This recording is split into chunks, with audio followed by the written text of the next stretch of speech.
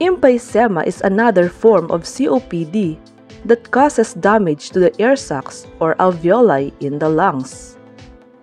In this picture, these are the normal alveoli, while these are the damaged alveoli.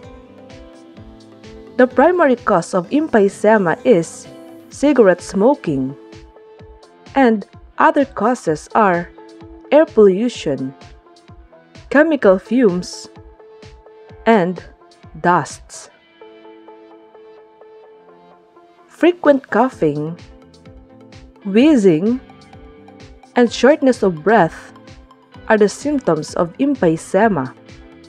Asthma is a chronic respiratory disorder caused by inflammation and narrowing of the bronchial tubes. It is one of the most common long-term diseases in children.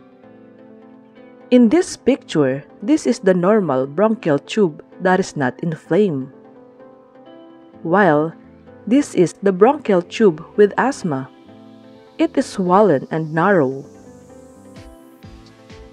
Asthma is triggered by airborne substances, allergies, smoking, weather, common bacteria, and viruses.